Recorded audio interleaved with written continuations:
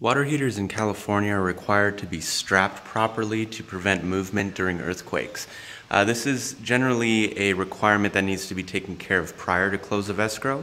Uh, the proper way to strap a water heater is with two straps, one on the upper third, one on the lower third.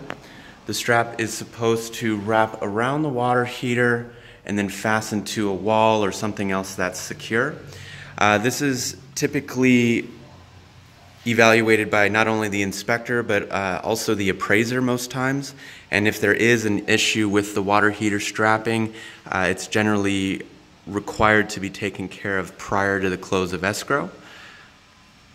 Uh, in this particular case, uh, the strapping looks good. Uh, we're not seeing any movement in the straps, they're nice and secure. And we're going to say that this was checked and found to be in good condition.